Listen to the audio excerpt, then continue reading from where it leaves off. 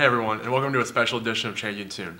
On the last episode, I mentioned that we'd be talking about rock and roll, but we'll need to put that episode on hold. Today, we'll be talking to a former NFL star and Blue Springs alum who has a big heart for music and has released some rap songs over the years. But enough of the build-up, let's get right down to it. So I'm here with former NFL star Brandon Lloyd, and something not everyone knows is that you also do some rap and you've released a few songs over the years. That's right.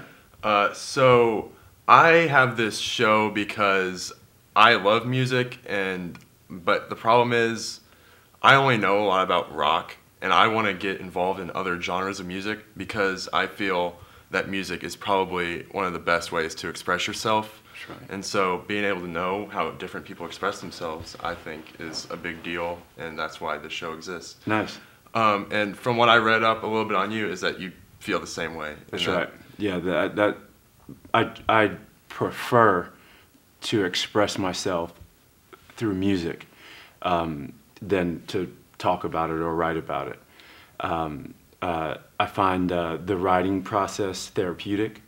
Um, uh, I just what I learned in uh, Blue Springs High School in psychology class was purge writing, um, uh, a Freudian way to uh, get a stream of consciousness out on paper. Um, is the is the therapy equivalent to speaking to someone else about it, and that's how I looked at um, creating my music projects. Um, was that um, uh, I grew up. Um, my both my parents were educators, so they had summers off just like we did as uh, as students.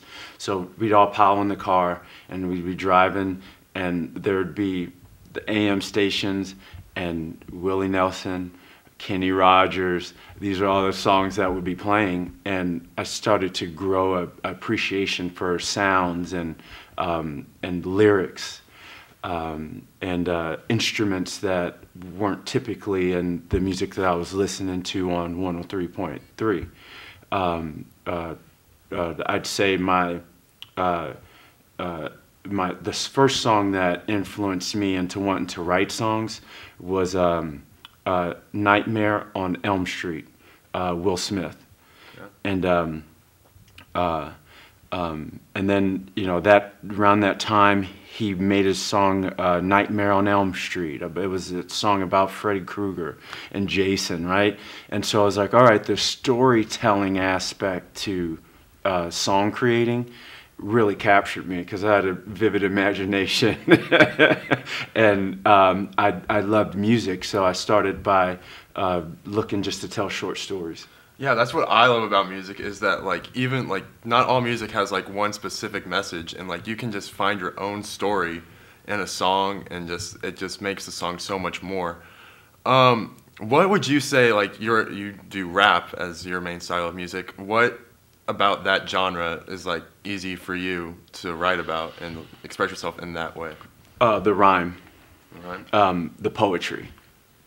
Yeah. Yeah. The uh, the other thing is is the observation. Um, uh, it's uh, as a as a as a, a, a rapper and a, and a writer, I'm observing the world, and then I get to comment on that, and so that's what I that's what I like most about that. So growing up, uh, what other kind of music did you listen to? Like what was your favorite music? Everything. Everything? Yeah. Oh yeah. Um, you know, I sang in choir here uh, with Mr. Von Cannon. Um, uh, so I enjoyed the show tunes. I enjoyed um, the holiday music. Um, I enjoy piano.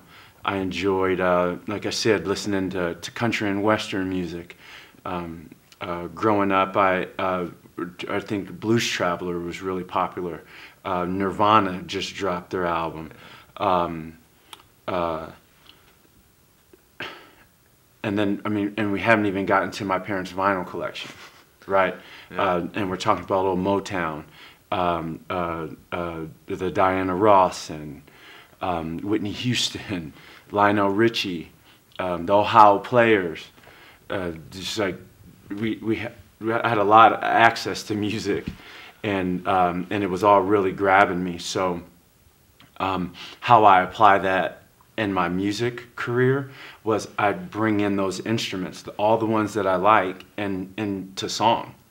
And so if a producer's producing with um, pianos and uh, we can bring in live bass and add bass to uh, to uh, the tracks, um, um, horns and you know I, I like all those sounds. So when now that producers are really experimenting with different genres, it makes it so much more fun because it's all all the stuff I like in a song, uh, and, and it's in the form of uh, um, a rhyme that I that I'm good at. Yeah, I was listening to your song Heavy just last night, and I noticed at the end, like, I'm a rock guy, and I love that guitar at the end of that song. It's really good. Yeah, thank you. That's, um, uh, I enjoy rock rap. I think Right. that uh, it combines the the best of of music, heavy bass and guitars and drums. Like it doesn't get better than that in music. Yeah, I love So- bass lines all the time. Yeah. Like, those are like the best parts of songs, and they're hidden, and like they're just so good when you finally hear them. Right, and what I liked about uh, producing Heavy was um, when we took the uh, the electric guitar and drum out, it's Heavy 808. It's a rap song, but then we take the 808, the drums and the bass out, and then we have a rock song. It's like it. The I think the blend to that is I mean, it was one of my favorite songs to, to produce and write because of it. It combines the, my two favorite genres. So, uh, is it okay if we play some of the song on the show? For sure. Okay, well, let's take a quick listen to some of Brandon's song Heavy. I roll through like the president through town. I got diamonds the size of earrings and the crown of Mama Dow. I'm from KC, eat your boys up like a slab of ribs. I got monopoly money, I got a bag of cribs. And a silver car, two seats, no lid. I'm set up properly, ain't no stopping me. You can't copy me, haters steady watching me. No tick tock, make money round the clock.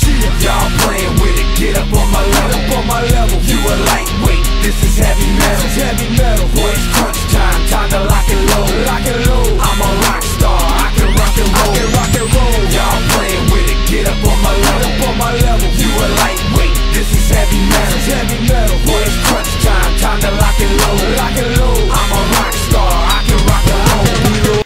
Yep. Really, really good. Yeah, thank you. See the and the I created uh, heavy with the uh, intention where uh, I I wasn't gonna I didn't use any cuss words in that, um, and I it was specifically marketed for television.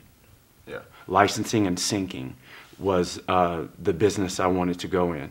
Um, uh, it was tough to juggle being a professional athlete with the um, uh, facade of a rapper, right? Yeah. Um, uh, it, that doesn't mesh well, especially with the amount of time that it takes to be a professional athlete. Anything else done is considered a, distraction.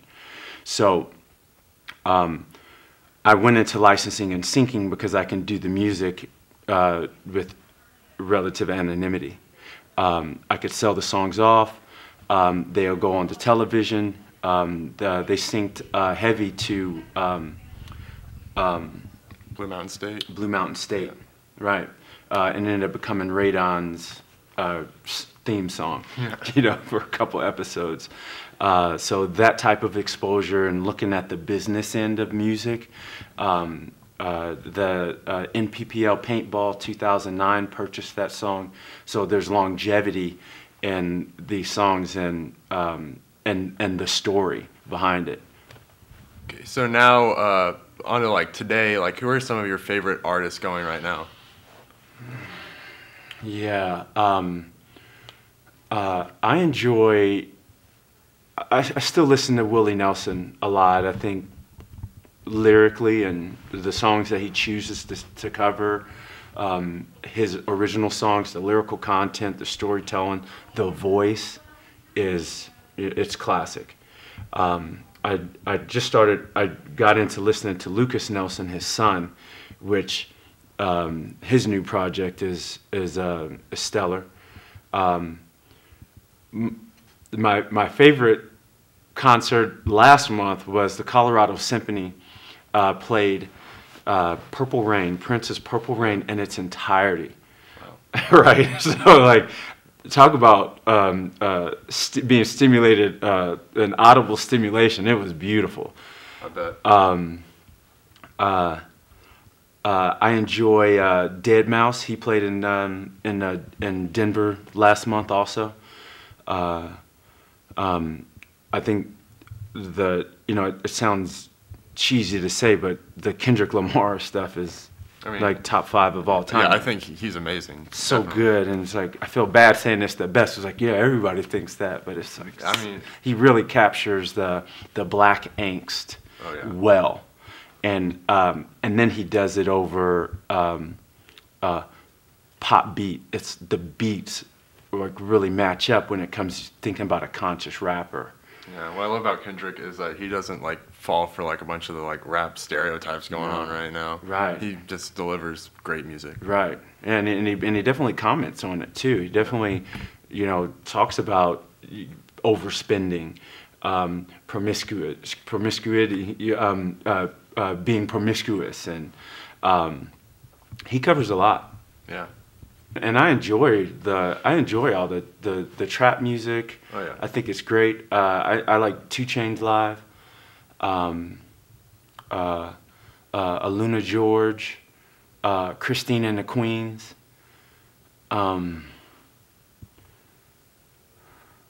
um, Marina and the Diamonds was another good one. Yeah, it, uh, I, I enjoy that, the entire scene. Yeah. Okay, so do you have any plans to drop any more music soon?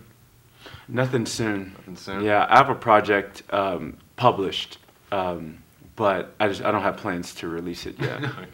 Yeah, but um, uh, I de- definitely have my music on SoundCloud, um, so people can follow that. Um, uh, B dash Lloyd dash one, and still there. Well, if you want to listen to Brandon's music, th- that's where you gotta go. Uh, anyways, thanks for talking about music with me. I love to learn more and get like understand more than I previously did. So what are you gonna do to do that? I Are you are you producing music? Are you writing music? no, I'm just listening. I think music has just it speaks to me, and I, I don't think I have an artistic bone in my body to produce music or write.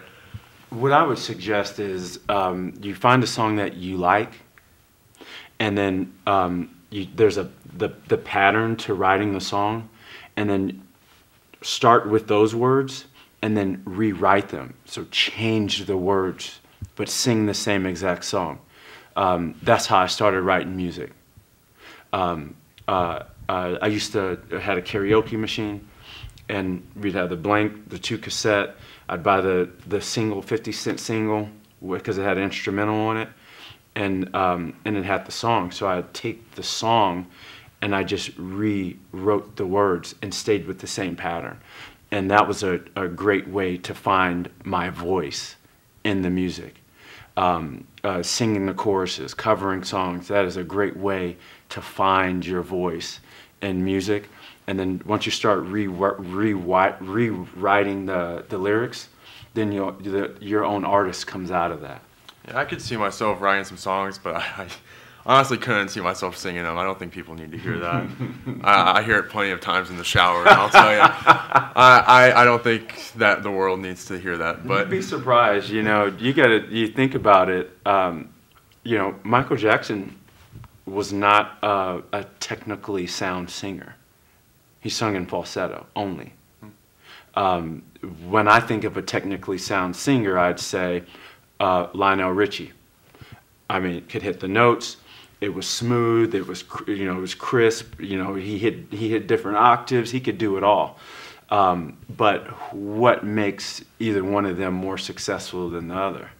You know, Yeah. um, preference of the listeners. Um, who else? I mean, uh, I mean, think about Marilyn Manson's singing voice, right? Like, no, man. uh, I like listening to. There's a group called Opeth. Uh, they're melodic metal, and uh, um, and so, you know, you think about what a, a heavy metal singer sings like, and that voice that they're going to, right? Yeah. But these guys are are Juilliard trained, right? So they're not just screaming. They're actually trained um, diaphragm, projection, uh, um, uh, octave. They're trained. So there's there's a there's a uh, a sound for everybody, you know, and it's just kind of building that confidence up to uh, to go out there and tell your story because that's what's the tough part about being an artist is the vulnerability. Like like these are my stories, my Yeah. purge writings, right? And then people are going to judge them.